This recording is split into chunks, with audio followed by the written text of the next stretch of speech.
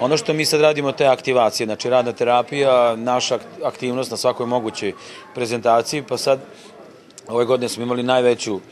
aktivnu akciju koju smo imali, a to je, nastupili smo na Europa Cantetu, znači na najvećem muzičkom festivalu u svetu,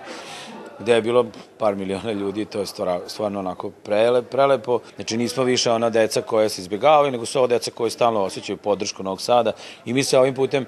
zahvaljujemo svim našim komšijama, prijateljima, novosađenima iz okoline i svima gde smo putovali, imali smo ove godine preko 150 nastupa.